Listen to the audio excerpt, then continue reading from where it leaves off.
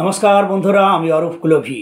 আমার অনেক বন্ধুর প্রশ্ন, আমরা ধনবান হব বা ধনী হব, তার চিহ্ন জ্যোতিষশাস্ত্রে বা সামুদ্রিক শাস্ত্রে যা বলা আছে, তা তো আমাদের হাতে অনেকেরই দু একটা আছে।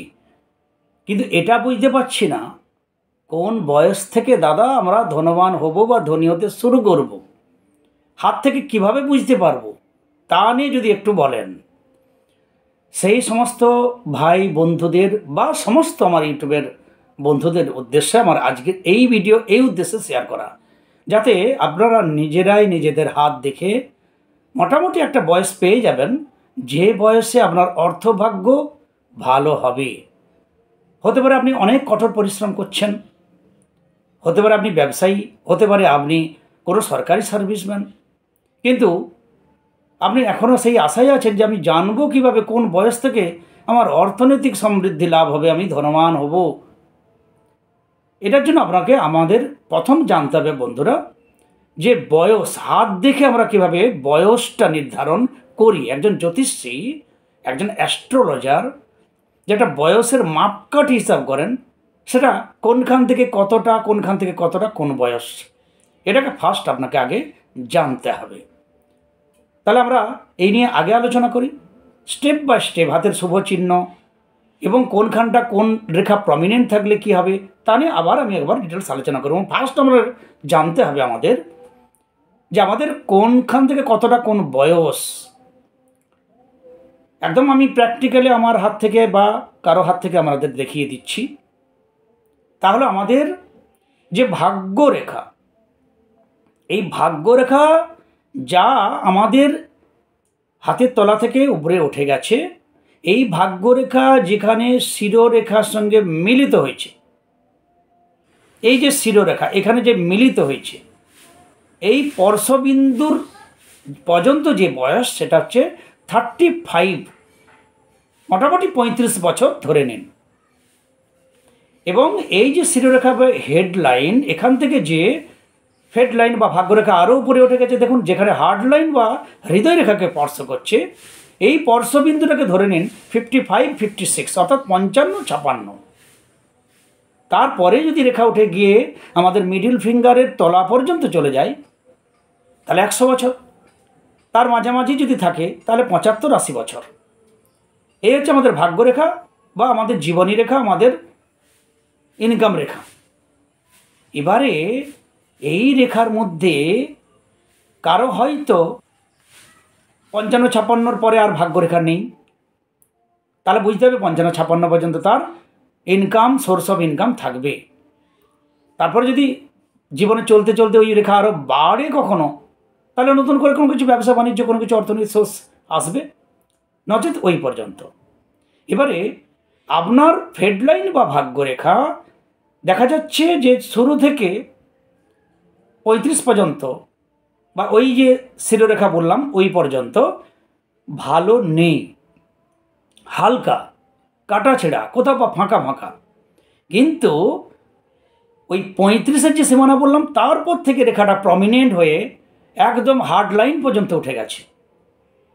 মোটা, সোটা, পরিষ্কার একটা প্রমিনেন্ট হয়ে গেছে, ভাগ্যর বা ফেড লাইন তাহলে এখান থেকে প্রথম শুরু করি বন্ধুরা।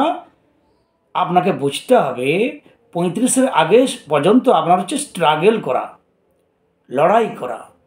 কি করে আমি অর্থনৈতিক সমৃদ্ধি লাভ করব? তার জন্য ময়দানে লড়াই করা। সেই স্ট্রাগল ফর এক্সিস্টেন্স সেই স্ট্রাগল করার পর সেই যে আপনার ইচ্ছাশক্তি অনুযায়ী আপনি হাঁটছেন, তার ফলস্বরূপ থার্টি ফাইভ থার্টি সিক্সের পরে প্রমিনেন্ট রেখা দেখাচ্ছে। অর্থাৎ আগে ভাগেই বলা যায়, ওই সময় থেকে আপনার অর্থনৈতিক সুখ সমৃদ্ধি লাভ হবে। আপনি ধনী হতে শুরু করবেন। ওইখান থেকে আপনার ধনলাভ হবে। যদি ওই রেখা হার্ডলাইন পর্যন্ত থাকে, তাহলে পঁয়ত্রিশ থেকে পঞ্চান্ন বছর বয়স পর্যন্ত আপনার অর্থনৈতিক ডেভেলপ হবে, আপনার উন্নতি হবে, আপনি চারিদিক থেকে অর্থ পাবেন এবং আপনার সুখ সমৃদ্ধি হবে, ধনবান হবেন, সঞ্চিত ধন হবে।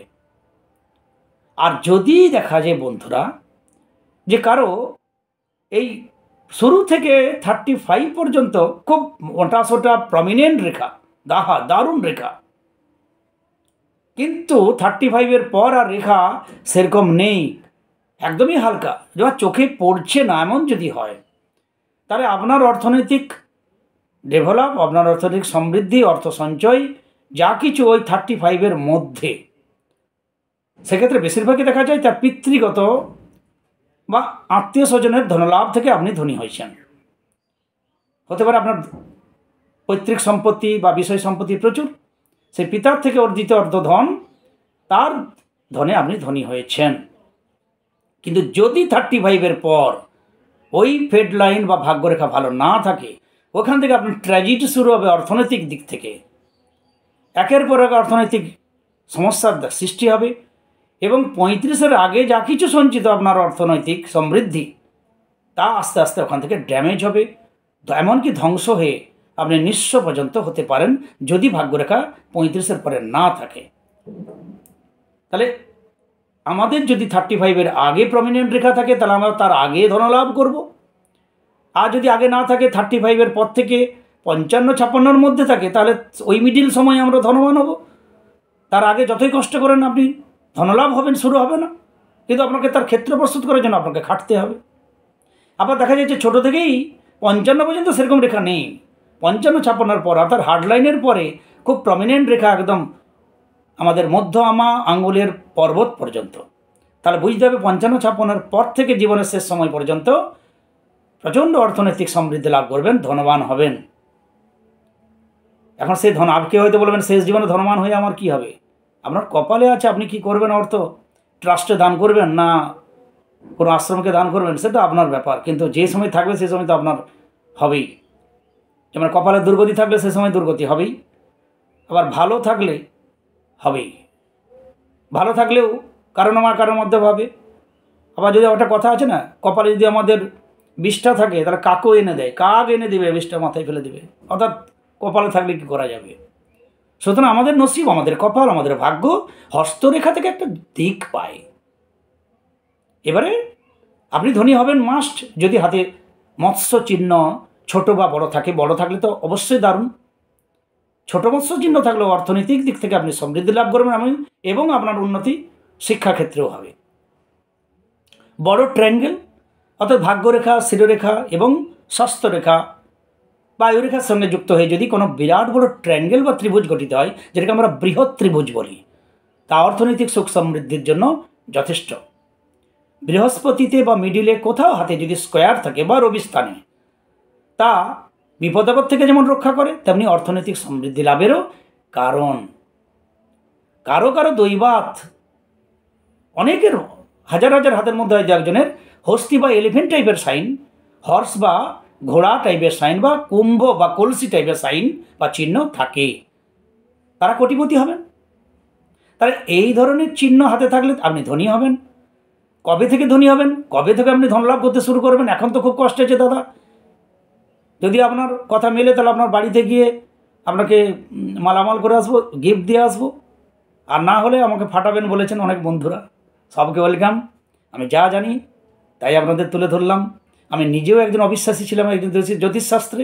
কেন, আমি নিজে পিওর সায়েন্সের স্টুডেন্ট আইটিআই মেশিনিস্টের স্টুডেন্ট কিন্তু সেই আমি আধ্যাত্মিকতায় তারাপীঠ, কামাখ্যা প্লাঞ্চেট ইত্যাদি চষে বেরিয়েছি ওই যে সায়েন্সে পড়া ছিল বলে সব জেনেছি। সাথে জ্যোতিষশাস্ত্রের এগুলো আমি খুঁটিনাটি একদম কিরো বেনহাম শুধু নয়, আমার গুরুদেব অনেক প্রচুর খেটেছি। এটা থেকে একটা অভিজ্ঞতা অর্জন করেছি। সেইটা আপনাদের তুলে ধরলাম। এই বয়স ধরে আপনারা নিজেরাই মিলে দেখুন, আপনি কবে ধনী হবেন। কমেন্ট বক্সে অবশ্যই কমেন্ট করে জানাবেন। বা পরবর্তী কোনো কিছু আপনাদের কোন বিষয়ে আলোকপাত করলে ভালো হয় তা জানাবেন। হোয়াটসঅ্যাপ নম্বর আমার দিয়ে দিলাম। হোয়াটসঅ্যাপে আপনারা হোয়াটসঅ্যাপ করবেন, আপনাদের বিষয়টা জানাবেন। বা কোনো কিছু জানার থাকলে বা কোনো কিছু ক্যালকুলেশনের থাকলে আমাকে একটু সময় দেবেন। হাতের ছবি ডেট অফ বার্থ টাইম যে বার্থ প্লেস পাঠাবেন, আমি আমাদের একটু সময় দেবেন, আমি অবশ্যই আমার দিক থেকে সাহায্য করব। যদি আপনাদের কারও কাজে লাগে, তাহলে এই ভিডিও আপনাদের শেয়ার করা। সবাই খুব ভালো থাকুন। জয় গুরু।